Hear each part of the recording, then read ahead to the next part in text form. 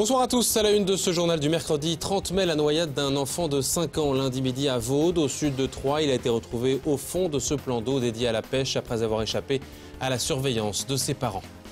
Le sens du concret au service du développement durable au Sénard à Troyes, un appartement ouvert depuis aujourd'hui est totalement dédié aux gestes écologiques près de l'espace Sénard. But de l'opération, sensibiliser les habitants du secteur à l'économie d'énergie.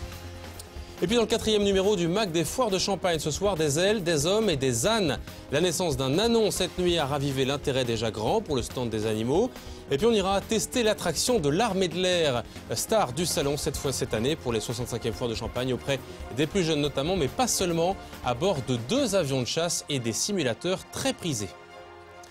Mais on commence ce journal donc par cet accident tragique survenu lundi à Vaud, à 20 km au sud de Troyes. Un enfant de 5 ans est tombé dans un plan d'eau avant midi. Peu avant midi, il avait échappé un court instant à la vigilance de ses parents.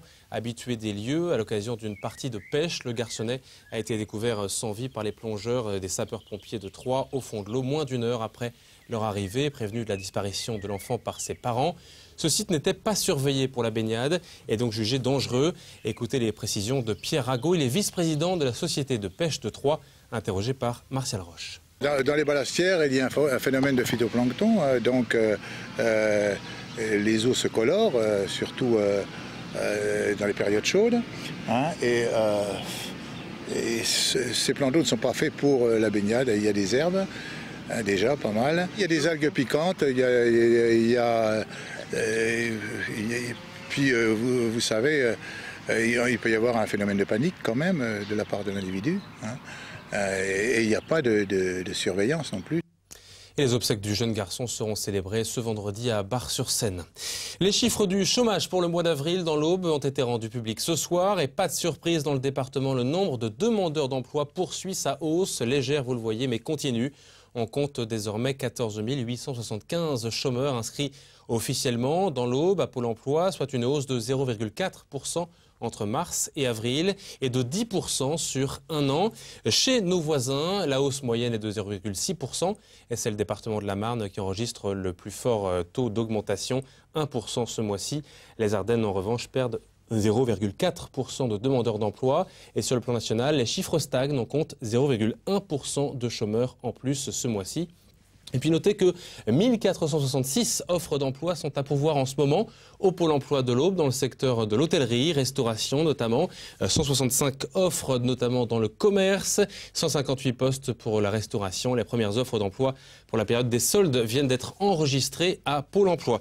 Et puis pour clore cette page emploi, sachez qu'un job dating du secteur de la propreté aura lieu lundi à 3 à l'espace de la Porte Saint-Jacques. 30 candidats en recherche d'emploi sont conviés à une session d'entretien d'embauche originale par des chefs d'entreprise locaux. À propos de la Porte Saint-Jacques, justement, initiative originale dans le secteur en faveur du développement durable et des économies d'énergie. Elle s'est proposée depuis donc aujourd'hui dans ce quartier des Sénards à Troyes, en pleine rénovation, un appartement pédagogique baptisé Apart Eco, une mise en situation qui vient d'ouvrir au public grâce à plusieurs partenaires et donne des astuces pour réduire sa consommation d'énergie. Des visites seront organisées pour les particuliers et les scolaires. État des lieux avec Aurélie Juigné. Chez soi, il est possible de faire rimer écologie avec économie. Cet appartement pédagogique est l'occasion de le découvrir au Sénard. Éteindre les appareils en veille, fermer les radiateurs quand on ouvre les fenêtres. Ces conseils ne sont pas toujours appliqués et cela peut avoir des conséquences autant au niveau environnemental que financier. Dans les toilettes, c'est euh, ce que représente une fuite d'eau alors la marque en bleu ciel, c'est une fuite d'eau sur une journée, c'est 500 à 600 litres. Au bout de trois jours, euh, on est quasiment noyé euh, sous une simple fuite d'eau DVC. Et cette fuite coûterait plus de 700 euros par an. Faire attention à l'eau est aussi valable dans la salle de bain. Ces bouteilles représentent les 150 litres d'eau utilisés lors d'un bain. C'est deux à trois fois plus qu'une douche. Le but de cet appartement est de faire prendre conscience du gaspillage et éventuellement changer les habitudes des visiteurs. Les personnes euh, vont circuler euh, dans cet appartement en euh, recevant des conseils sur des thématiques différentes dans chaque pièce. Dans la cuisine, ce sont les économies d'énergie et le tri des déchets qui sont mis en avant. Pour les partenaires du projet, cette sensibilisation est nécessaire. On travaille tous dans le même but, essayer de mener des actions pour toujours euh, protéger l'environnement et aussi quelque part aider les habitants.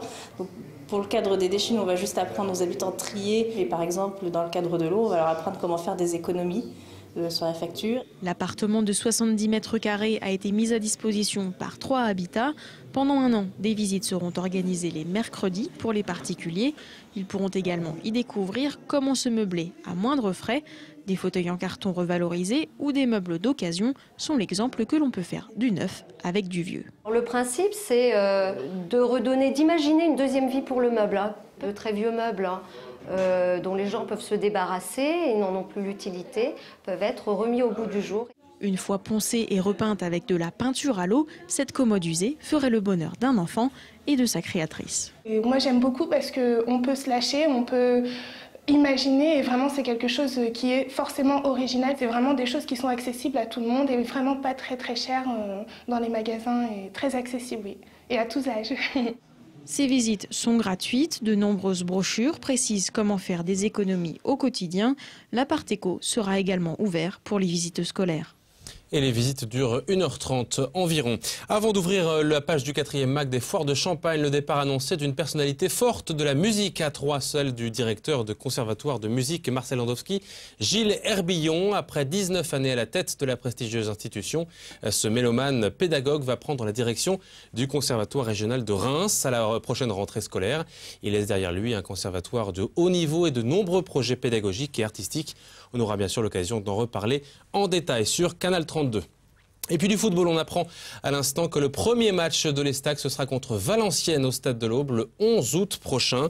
On en saura un peu plus. Le tirage au sort de la saison 2012-2013 a lieu en ce moment. Dans un instant, le quatrième mag des foires de Champagne.